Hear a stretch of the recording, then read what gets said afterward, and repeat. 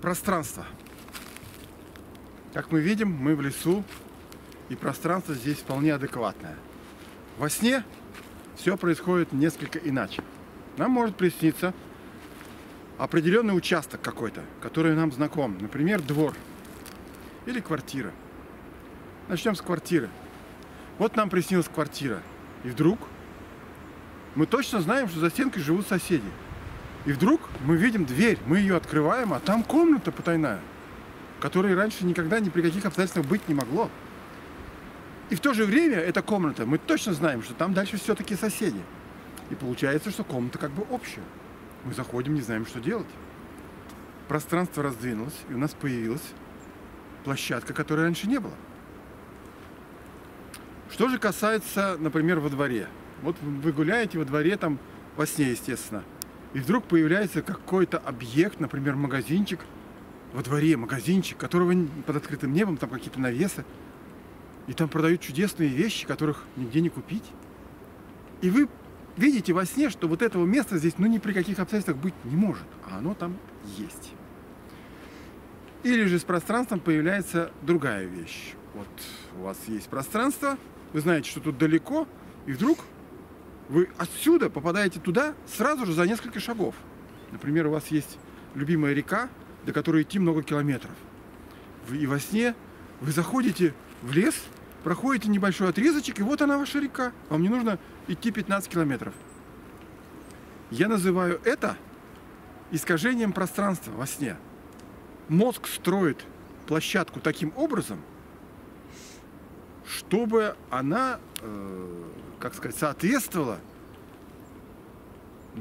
тому, тому сценарию, который он хочет сделать. Например, нужна комната лишняя, он ее впихнет. И также во всем. Например, вы можете залезть в, очи- в очевидно маленькое здание, и вдруг окажется, что там очень много коридоров длинных.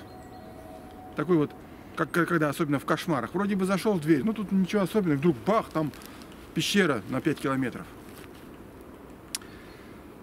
Как это все происходит, сказать очень трудно. Одно можно понять, что мозг устроен очень интересно. Он формирует все это дело э, каким-то чудесным образом. И в то же время, в то же самое время, подчеркиваю, мы можем во сне сознательно, сознательно менять некоторые вещи. Если тренировка большая, то можно менять эти вещи достаточно существенно. Ну, например, тоже делать с пространством. Вы, например, во сне оказались в своем дворе, да, где вы привыкли. А до этого в других снах вы видели то пространство волшебное, которое появилось. И вы сознательно идете прямо в то место. Зачем вам? Что вам там нужно? А вы там хотите увидеть то, чего никак в других местах не увидели. То есть вы возвращаетесь в то место счастья. Например, когда во сне вы что-то очень хорошее увидели, счастливое место, вам там было очень хорошо, почему бы и, и туда еще раз не прогуляться, ведь правильно? Мозг, он любит всякие такие, ну, как бы поощрительные вещи. Мозг дает команду кушать сладкое, там еще что-то делать такое. Играть в игру, например, если она интересная. Так и тут, во сне. А, вот. То есть про, про пространство я немножко сбивчиво поговорил, но тем не менее, тем не менее, пространство во сне устроено иначе. Это есть факт.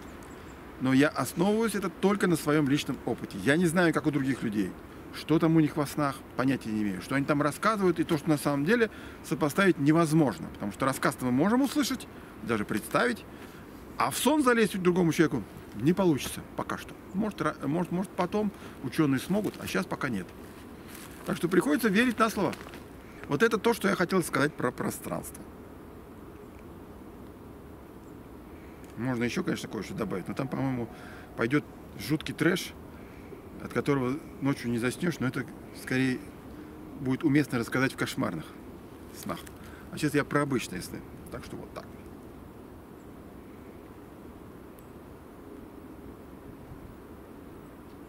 Надо пошутить. Надо пошутить. Хотя какая тут шутка? Это даже уже не шутка. Если человек покупает однокомнатную квартиру, делает перегородку, а потом выдает ее за двухкомнатную, это не смешно. Это выгодно. Так. Была одна комната, стала двухкомната, можно разменять. Потом опять сменять. Вот из одной комнаты сделать три, потом пять. Потом смотришь, у тебя уже дворец. Но во сне-то, кстати говоря, дворец сразу можно сделать. Раз, и у тебя дворец. Все. Пошутил как смог. Можете не смеяться, если кому не смешно. А лайк не забудьте поставить в любом случае. Он мне пригодится. Хотя, зачем? Нафиг мне это надо? Ну пусть будет. На солнышко наведи. Ручкой помаши. На солнышко наведи, там такие тени.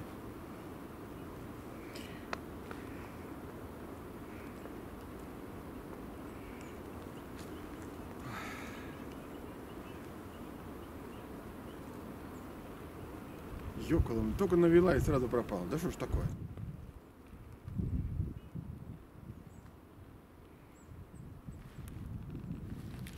Сны это очень серьезная вещь. И к ним нужно относиться по-серьезному. Увидел сон, запомнил, записал. Ужаснулся. Дальше лег спать.